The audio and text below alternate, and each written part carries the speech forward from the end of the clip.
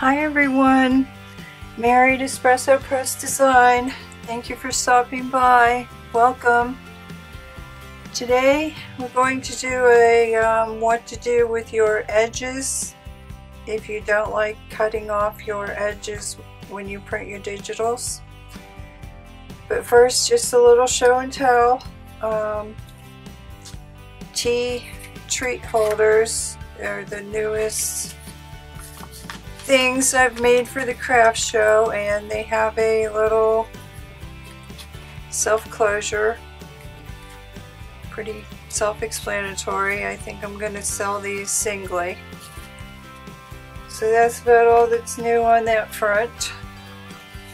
So what you'll need are your digitals.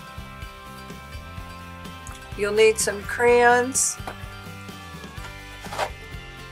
some pastels maybe, text stamps, and border stamps. I'm going to do the most difficult and an iron. I forgot to say that. I'm going to do the most difficult cumbersome ones first and then I'm going to pause the video and restart so I can get back to my usual setup and then I'll do the, the, the borders with the stamps. But many of you, you don't always like to cut off your borders when you print something.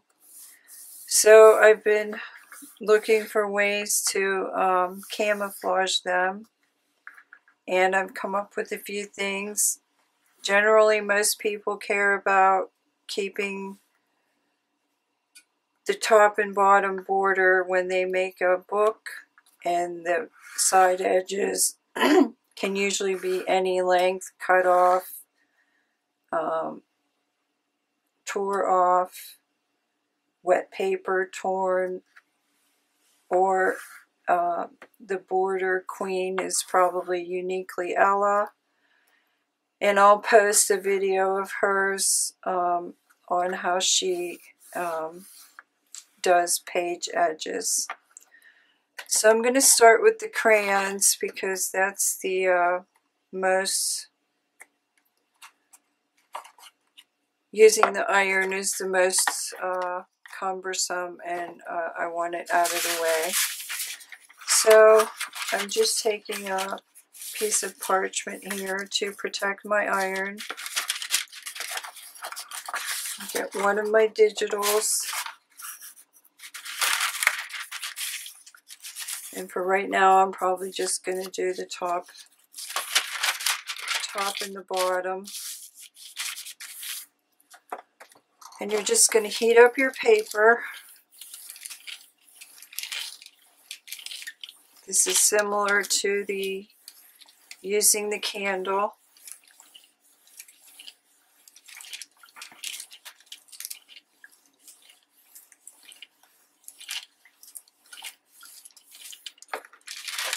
And then you're going to take your crayon.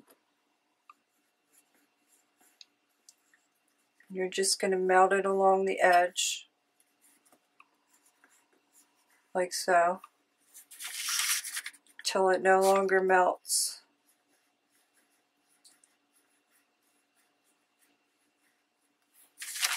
and that will completely camouflage that edge. I'm just using black on this one so you can see it. This is also a great way to um, edge your ATC cards.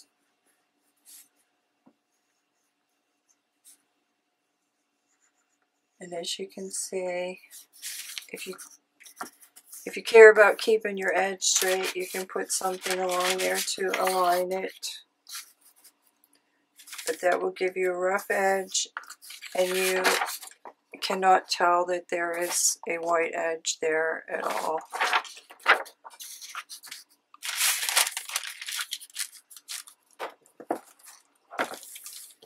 And you can do that in any color. Just um, grab a different color here. Um, my pink is too short. Um, okay, I'm going to try this melon. See what happens.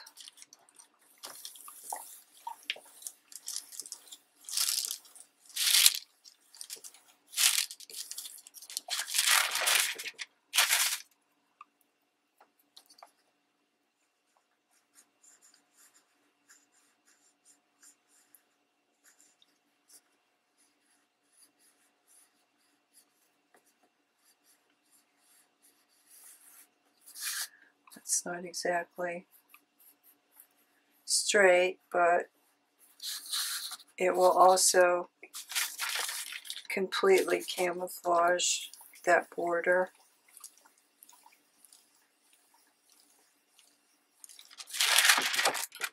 I would probably, it's up to you, but I would probably go with a black or a neutral. But you can match your papers if you want. So that's technique one, and it goes very fast. So, okay, I'm going to pause, turn off the iron, and then I'll be back with the remaining techniques. I'll be right back. So here's the um, crayon technique. It doesn't look like a marker. It doesn't look like anything that you would typically think. It doesn't look like ink. I mean, it kind of looks like ink, but it doesn't um, you can't tell that it's crayon. However, if you wanted to, you could also color your borders with crayon. And it's such a small, um, let me see. Let me try to get a color here that matches. It's such a small uh, area that you can't really tell it's crayon if you just wanted to attempt coloring.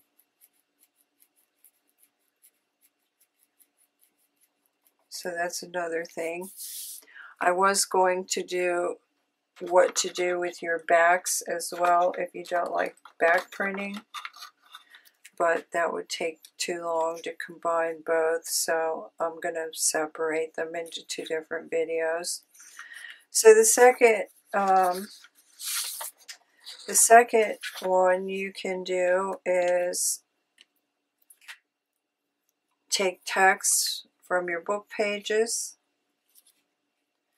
and you can glue them around your page, around on your borders, and that would be appropriate for a journal. And there, it's usually most lines in a book as long as you're they will pretty much be the same size as a border. So you can do that.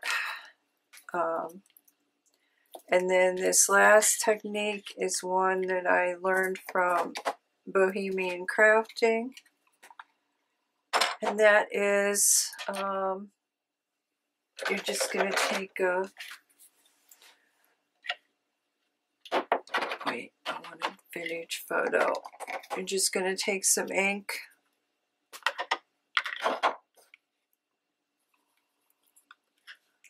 Blend in your edges a little bit so they're not so white. It's pretty terrible up there in the corner, but you get the drift. start off the page when you're using a brush.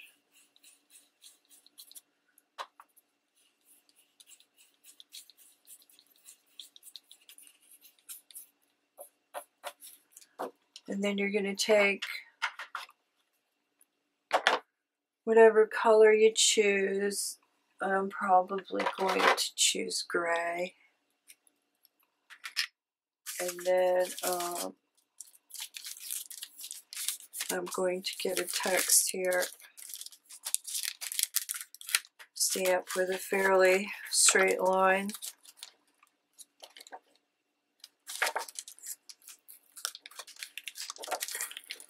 Just gonna take small one.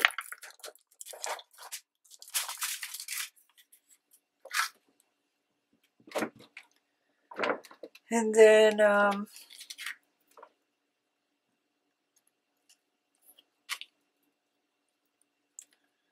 just need the top covered with ink.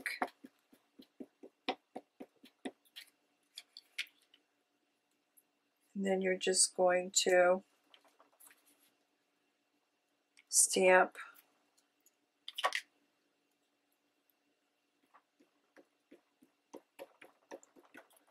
along your edge.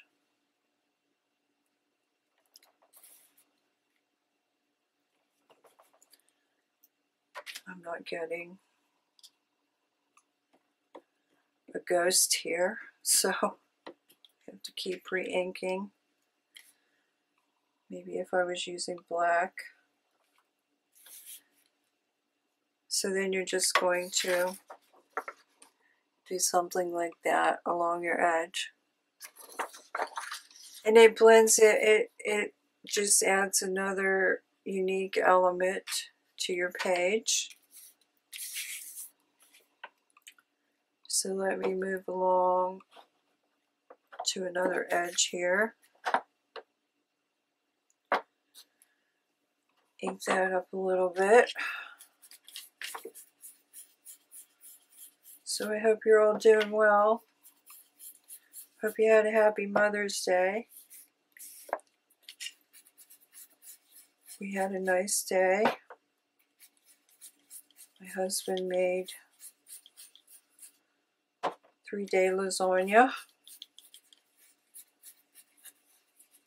because he makes everything from scratch. Now, some of you might I don't particularly, it doesn't particularly bother me to have a border on a page. But um, you can use your border stamps. So maybe, let's see. No, I, these are new. I haven't used them yet. So I'm just going to get a short one here. um, do a border. I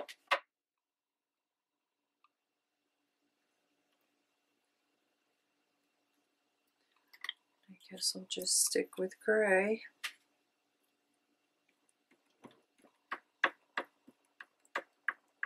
It Doesn't even look like it's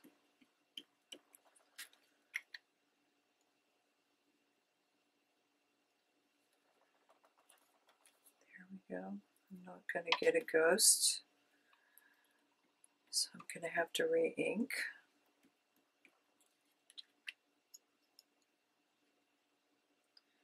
So you, you're probably saying, well, why would I do this? Might as well just take all the time to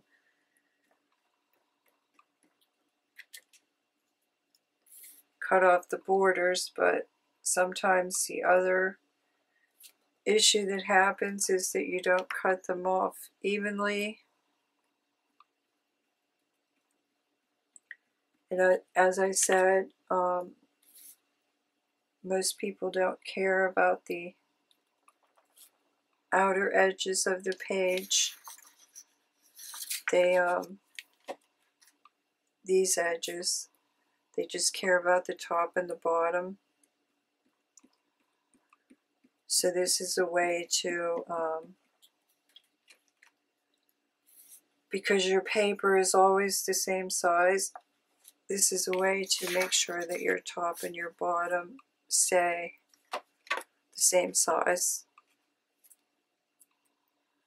So that's the benefit of doing a faux faux edge or border along your paper. Another thing you can try are with your pastels. And I probably didn't leave them over here because I'm going to need a soft cloth to wipe these pastels. Um, let's see. And they're upside down. Oops. Let me just get a gray here so I can stay with the program.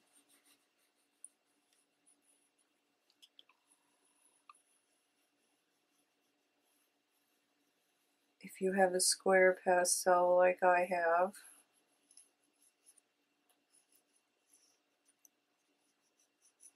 it's easier to keep a straight line.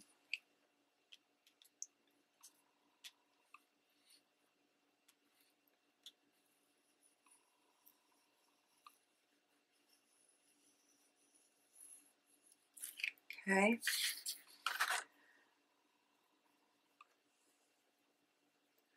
My cloth is wet. Let me, um, I have to grab a napkin here.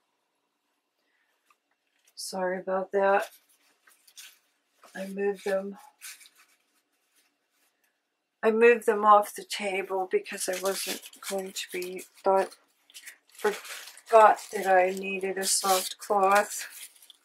So you're going to want to um, rub off the excess.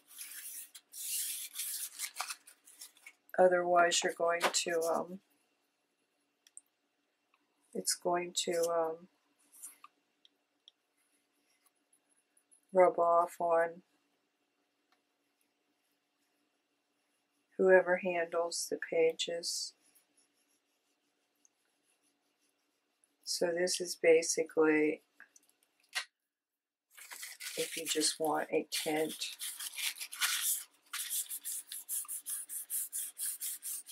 But it's dry and it's not going to damage your pages. And after you've rubbed off enough, um,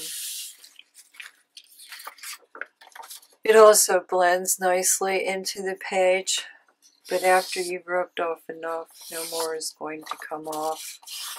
But that's what you have to watch out for on that. So I think that's it. The crayon, the gluing your text, um, the stamping, and you could also um, you could also do your two effects. You could do your pastels. And then if you wanted to stamp on top of your pastel, you could do that. And that will give your page a nice little border.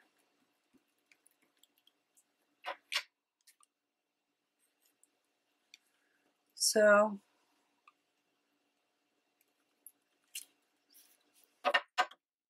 I'm still sorry about my rant last time, but my husband for the first part of this was running the phone camera so that I could make a short.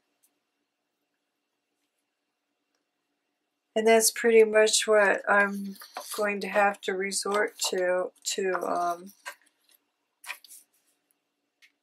do a short and have it be in the right ratio because the vid video editing software did not work at all after, I don't know, 15, 20 hours of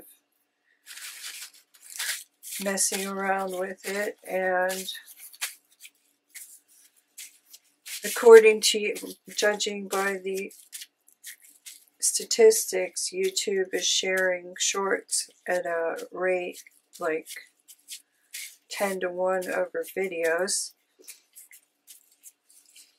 And that's probably because they get paid by the click. Although I'm not sure but I'm sure it's not really there to benefit the creators. But um, they just are worried about having to compete with TikTok. But anyway that's my problem TikTok is YouTube's problem and I'm sorry about that, but I really didn't feel like adding another learning curve to all of this. And I still haven't had time to um, figure out my giveaway. I'll do that this week and hopefully next week will be a giveaway. But that's all I have for today. Um, what to do with your borders if you are don't feel like cutting them off and um, this is a nice I thought that um, when I saw Bohemian Crafting do that I thought you know that doesn't look that doesn't look bad at all so then I just started playing around so that I could add some more for you. And um, of course, there is Uniquely Ella on how to work with these pages. The crayon. The crayon effect works on a lot of things. ATC cards. Um, journal cards. All kinds of things if you want to put a little, usually they would put a black border around ATC cards. So, okay, have a great week, everyone. I'll see you next time. Bye.